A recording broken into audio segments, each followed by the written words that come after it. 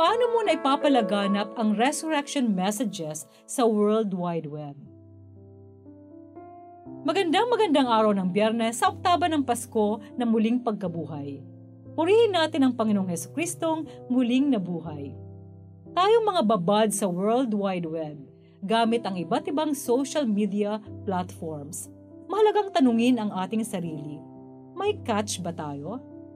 May catch ba ang mga messages na pinopost natin?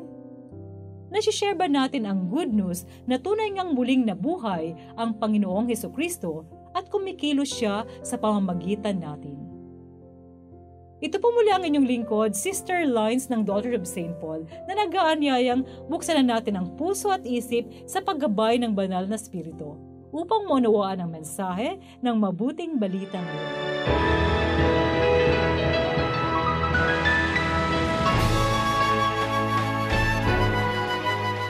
Muling ibinunyag ni Jesus ang kanyang sarili sa mga alagad sa may lawa ng Tiberias.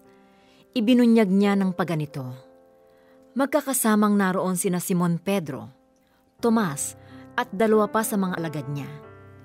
Sinabi sa kanila ni Simon Pedro, Aalis ako para mangisda. Nang madaling araw na, nakatayo si Jesus sa dalampasigan, pero hindi nakilala ng mga alagad na si Jesus yon. Tinatawag sila ni Jesus. Mga bata, may kaunti kaya kayong makakain? Sumagot sila sa kanila. Wala. Sinabi naman niya sa kanila, Ihulog ninyo sa may bandang kanan ng bangka ang lambat at makakatagpo kayo. Kaya inihulog nga nila at hindi na nila makayanang hilahin yon sa dami ng isda. Kaya sinabi ni Pedro sa alagad na yon na mahal ni Jesus. Ang Panginoon siya. Kaya nang makalunsad sa lupa, nakita nilang may nagbabagang uling doon na kinaihawan ng isda at may tinapay. Sinabi sa kanila ni Jesus, Hali kayo't mag-almusal. Wala namang makapangahas sa mga alagad na mag-usisa sa kanya. Kayo ba'y sino? Dahil alam nilang si Jesus yon. Lumapit si Jesus at kumuha ng tinapay at ipinamahagi sa kanila. Gayon din ang ginawa niya sa isda. Ito ang ikatlong pagpapahayag ni Jesus sa mga alagad matapos siyang ibangon mula sa mga patay. Ano ang good news sa atin ngayon? Kay Jesus na muling nabuhay, hatid ang kapuspusan ng buhay. Kapanalig, bigyan pansin natin ngayon ang lambat o ang net. Empty ang lambat ni na Pedro, Juan, Tomas, at iba pang alagad. Zero catch. I-relate natin ang net sa network na tayo lahat nakaka-benefit. Araw-araw kapati tayo sa network.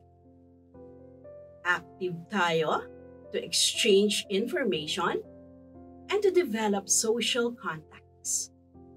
Iba-ibang tao, iba-ibang transactions, iba-ibang posts and reels ang involvement natin.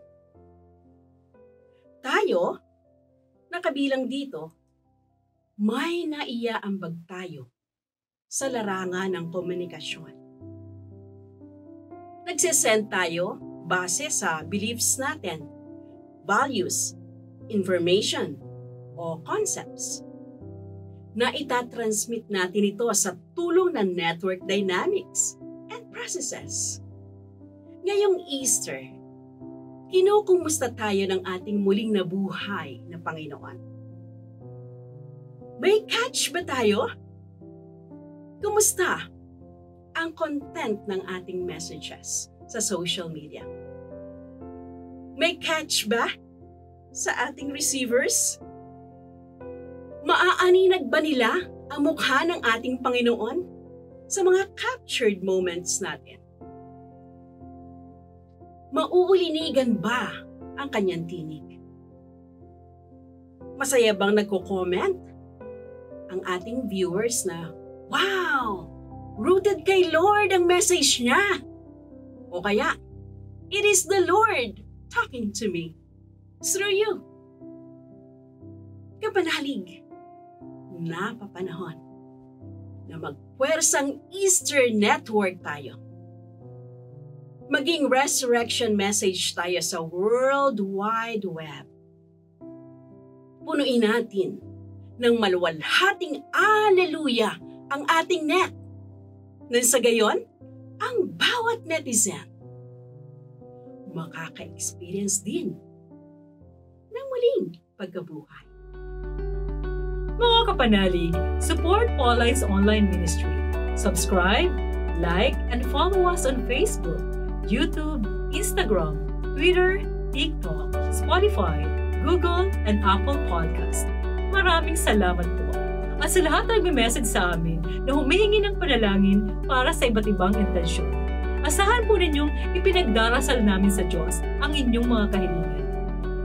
Ito po muli si Sister Lines ng Daughters of St. Paul na nagpapaalalang sa patuloy nating paglalakbay sa buhay, mga aral ng Panginoong Yeso Kristong muling nabuhay, laging gawing gabay.